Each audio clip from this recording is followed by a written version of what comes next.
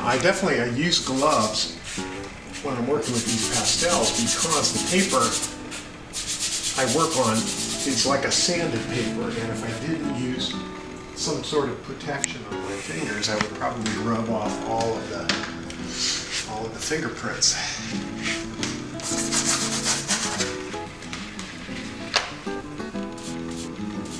Some of the pastel pigments, the cadmiums and the cobalts can be carcinogenic, so you don't necessarily want those on your skin all the time. I've been very fortunate uh, working with pastels and, and treating it as an intuitive process to develop my own style. I, think it comes out of the, the, desire to create with really bold, um, broad strokes and keep the colors fresh and keep from overworking uh, the colors.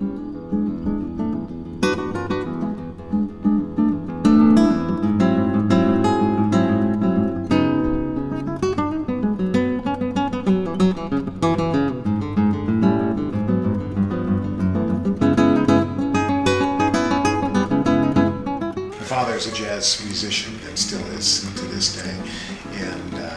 In that environment, I was fortunate to uh, get an appreciation for the, uh, the, benefits and importance of creative effort and uh, using that in, in your life.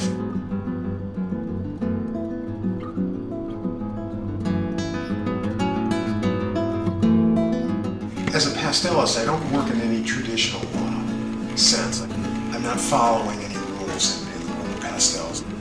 Using these soft pastels without a tool uh, gave me the opportunity to uh, be directly in touch with the pigment and to express uh, with color very intuitively. Okay, we're gonna cut here.